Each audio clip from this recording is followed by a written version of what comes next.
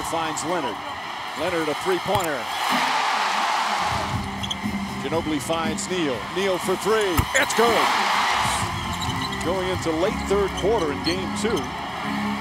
Neal hits a three-pointer. Here comes Gary Neal. Neal slips, gets it to Green, hits a three. Neal another three, puts it in. Ginobili and Parker play catch. Parker knocks it down. Tough shot, a three-pointer. James hot step, blocked by Green. Final seconds. Neal at the buzzer. Bang!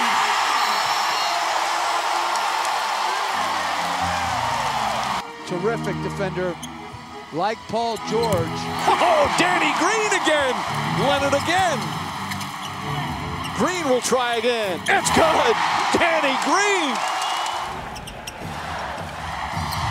Leonard, bang. Buford were all talking to him. Neal has to put it up way outside, and he knocks it down. Gary Neal having the game of his life here in the NBA Finals. Neal tries it again, puts it in. Neal touch pass to Green, another three-pointer. It's good. 13 threes for San Antonio. Allen tries to save it, does, but right to Splitter. Green tries a three. Oh, Danny Green does it again. Three. Splitter.